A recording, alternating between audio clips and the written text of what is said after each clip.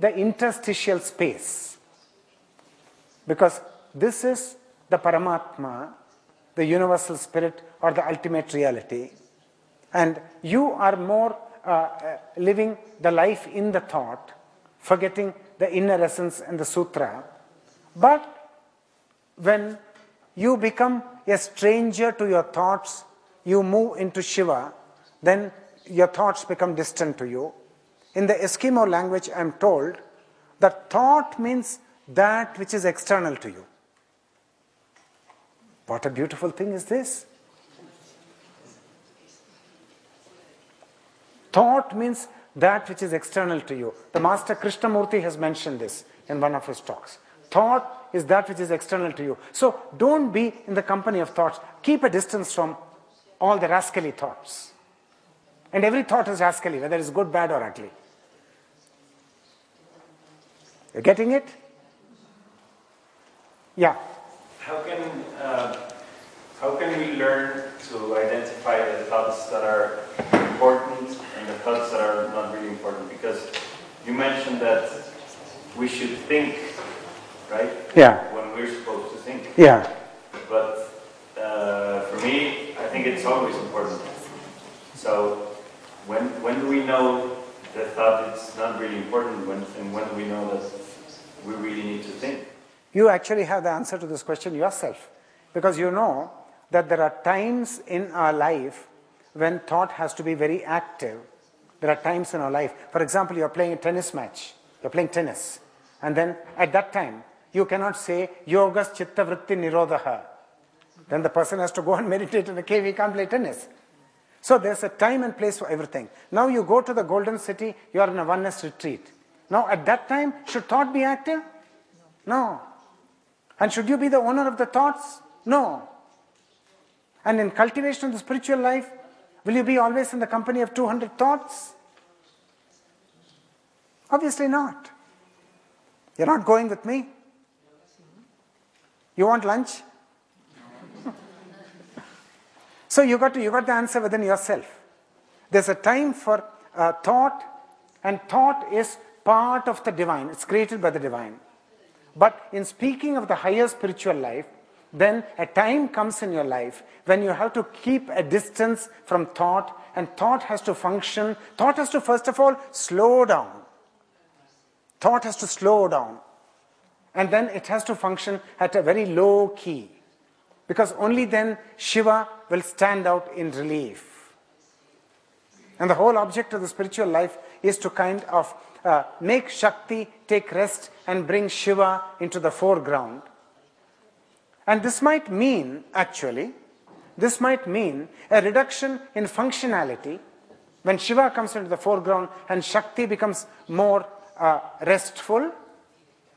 And which is why the ancients also said, reserve the higher spiritual life for the full flowering of the spiritual life to happen after 60. Because after 60, when you become somewhat less functional or non functional, you are in trance, you are in meditation, then your boss is not going to kick you. But when you become non functional at 30 or 40, then you're going to get a memo in your office. So there's a time when thought has to be rested. Now we are talking of a, a situation where thought has to subside and you've got to become, uh, you're, you're, not all the time kind of jumped into the swimming pool of thoughts and all the time being in the company, but just come out of it. And this is the picture. So, where it becomes clear to you that you are this thread.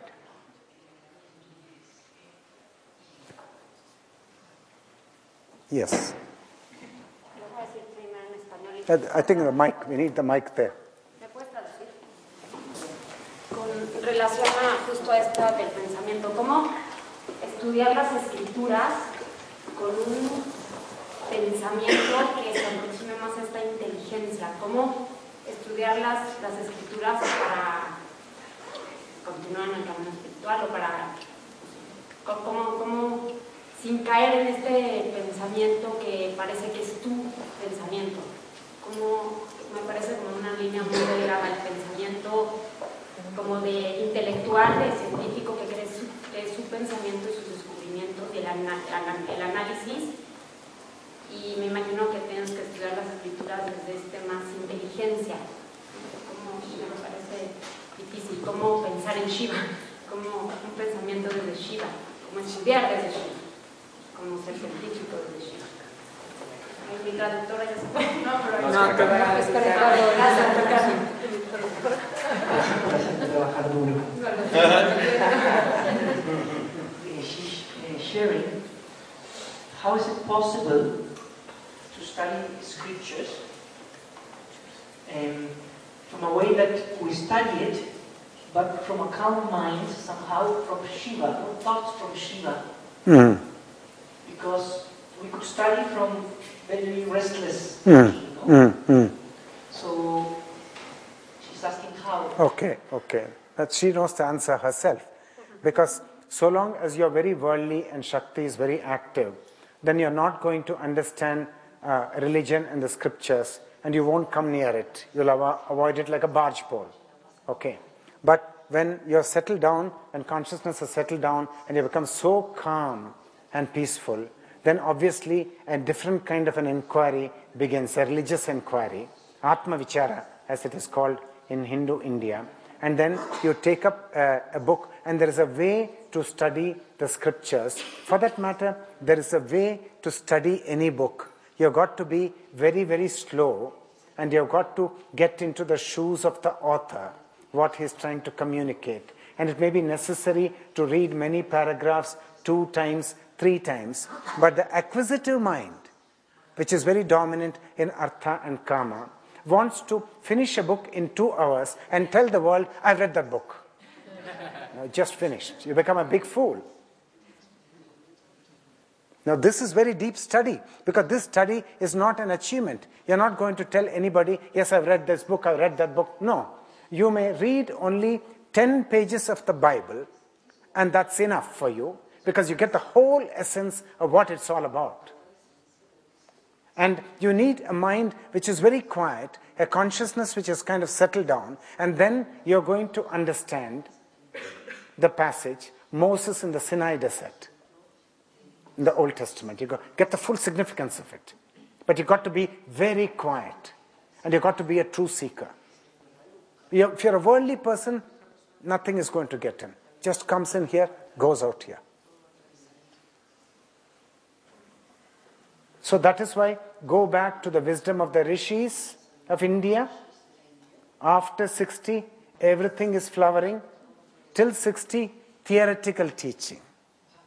And the teaching from the age of 7 till the age of 21 in Dharma and in Moksha, theoretical teaching with the children and the young people never really understood. You need the experience of life for those seeds to sprout and come to full bloom. Without the experience of life, they're not blooming. Please try to see everything in a comprehensive manner. Because the acquisitive mind wants results overnight. Sorry, wrong number. They're not getting anywhere. Does that satisfy you? You are not happy, I know. Okay, thank you. So, shall we move forward? So, food for thought for you to think.